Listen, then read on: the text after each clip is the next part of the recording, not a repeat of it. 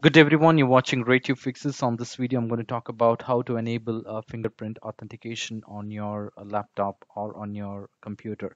Now, in order to enable fingerprint authentication, um, the first thing and first and most criteria is that you need to have um, the fingerprint um, scanner um, on your laptop and until and unless you have a fingerprint uh, or a thumb impression scanner you will not be able to enable that.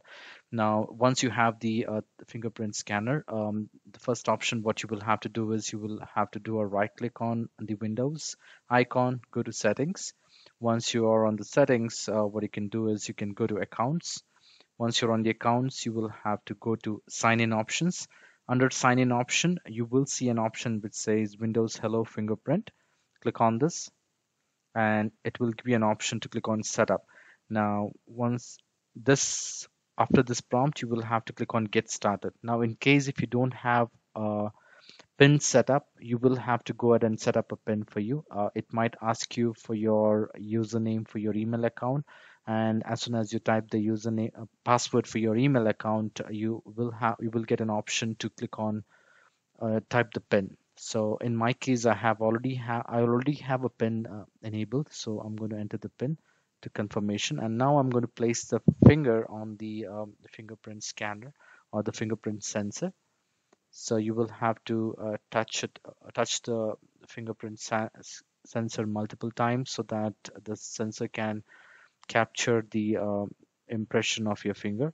Now it would once one angle has been uh, impression has been taken you will have to click on next and you will have to use another angle. So keep placing the finger on the fingerprint sensor till uh, the fingerprint sensor captures the uh, the fingerprint impression on the fingerprint sensor.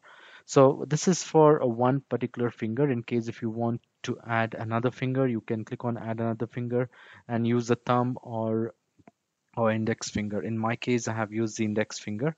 Once it is done, um, you may click on close. So when you log in next time, you would get a sign in option. You would get multiple options like enter your PIN or use uh, the fingerprint uh, Windows Hello fingerprint, or you can also have an option to uh, type the password for your email account. So in this way, even in case, even if in case you have forgot your hello fingerprint uh, pin or you have forgot your password you can still log in using these multiple option.